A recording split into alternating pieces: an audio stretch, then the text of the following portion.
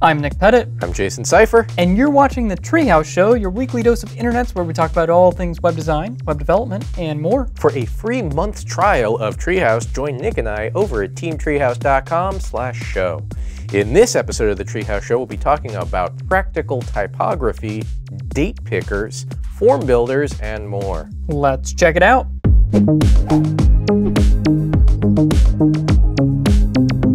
First up is this wonderful practical typography guide. It's really, really extensive, and you can purchase it if you find it useful. So, how to pay for this book. Of course, it is available for free right here on the web, And but they are not sponsoring the show. We should make that known. it, they are not, but it is really, really cool, incredibly in depth here. I'm just going to click on apostrophes here because I learned something in here I did not know. So, first off, you usually are using a single straight quote if you're just copying and pasting from a plain text source or just typing in into, say, a text editor, when in fact, oftentimes you probably mean to use an apostrophe, which is a different character. So they have a couple examples here of what is wrong and what is right, and how to use apostrophes properly, because sometimes you want them to face one way or another. T-I-L.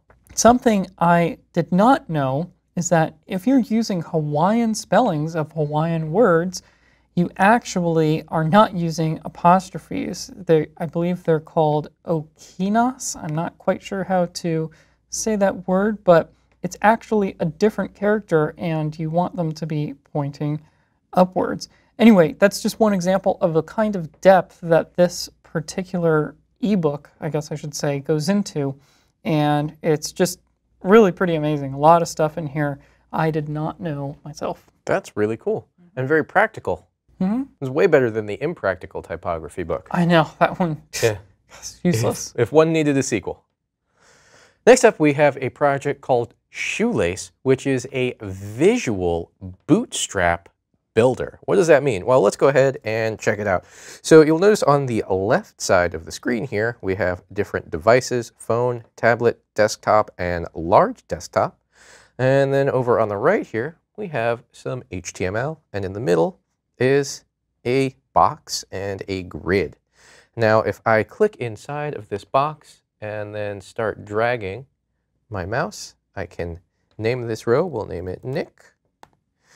And now I have columns, and as I resize this column, it gives me the different Bootstrap class that is associated with that column. And then over on the left side of the screen, it displays what this would look like. Now I can go ahead and add another column.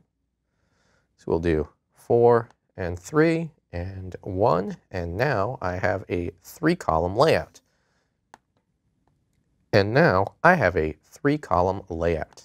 And I can, of course, adjust these different columns and then go ahead and create more rows and repeat that process. Now, as I do that, it gives me the generated HTML over on this side, div with a class of row, and a div with a class of row and JSON, and it gives me the HTML, or if I'm using Jade templates, that works as well. And if I want to, it will even give me the less mix-in to generate this code. Now you can copy all this and paste it inside of your editor of choice, and boom, you are good to go. Wow, shoelace. They are really tying up the loose ends here. Really, uh, you know, Oh, was that tongue in cheek? it, it, it makes sense that this would be for Bootstrap. I don't know. I think I lost a little bit of my soul when I heard those jokes. Next up is a really cool blog post called Creating Distraction Free Reading Experiences. Definitely not a distraction free show today. Yeesh. Uh, basically, it's an article about how to create blog posts that look exactly like this one. No, I'm just kidding. But this is a good example of a distraction free reading experience and some of the best practices that they describe. So, for example, you don't want to have you know embedded Flappy Bird right on your blog post because Oh, we should you go know play Flappy Bird Yeah. instead of finishing reading this article. I just want to uh, sign up for Bank of America right now. Look at that, huh?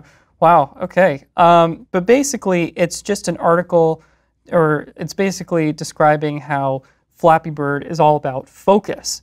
And you want to make sure that you're focusing on the bird and not necessarily your score up at the top.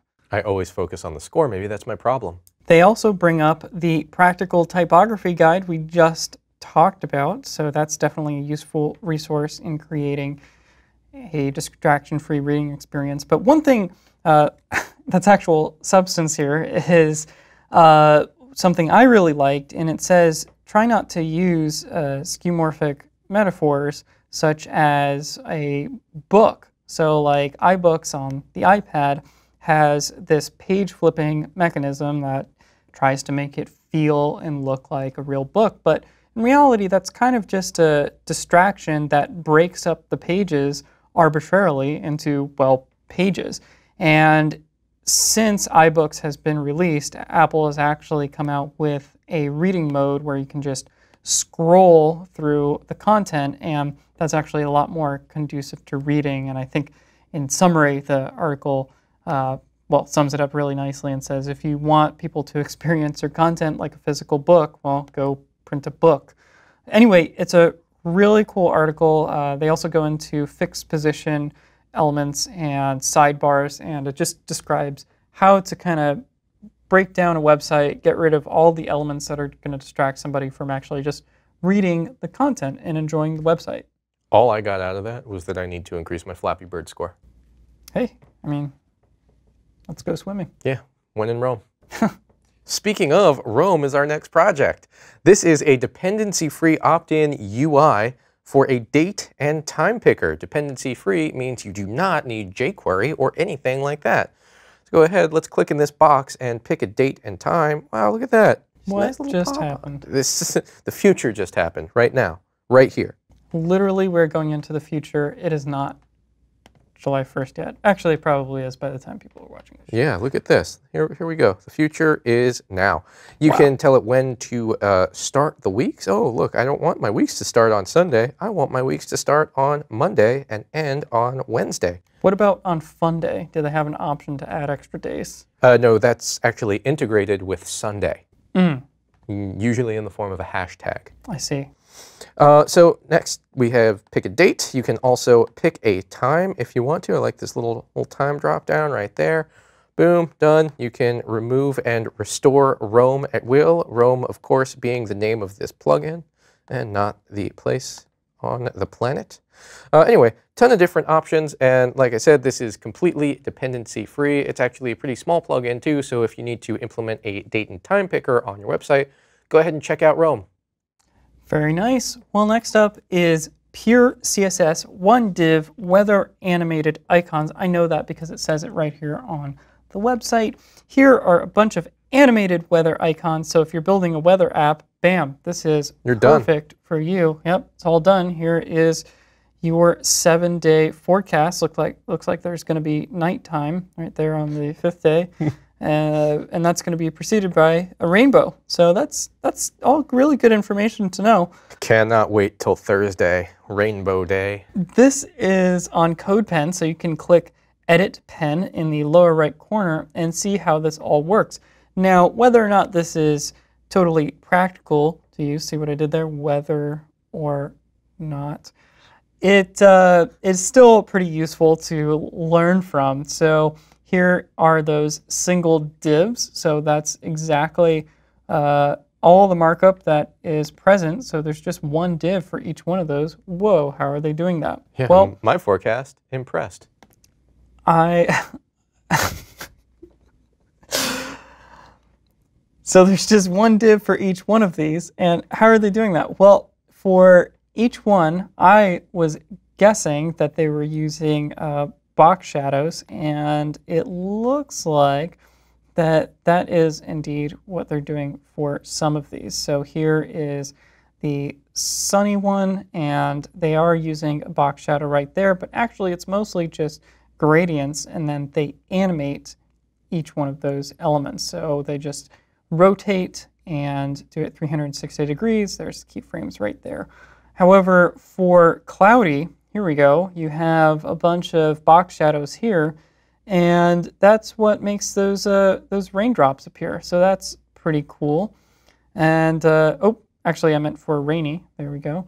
Anyway, you get the idea. Uh, it's basically all done with a little bit of fancy CSS and some animations, and it's definitely really useful for learning purposes. So if you want to see how this works, it's all, all on CodePen, so you can go ahead and just kind of break away each individual part and uh, see what happens when you remove it or add stuff. That's amazing. Cool. Yeah, well, I like it. That is all we have time for this week. I am at NickRP on Twitter. And I am at JSeifer. For more information on anything we talked about, make sure to check out our show notes at youtube.com slash gotreehouse. You can also search for us in iTunes. We are The Treehouse Show. And of course, if you'd like to see more videos like this one about web design, web development, mobile business, and so much more, be sure to check us out at teamtreehouse.com slash show for a free month. Thank you so much for watching, and we will see you next week.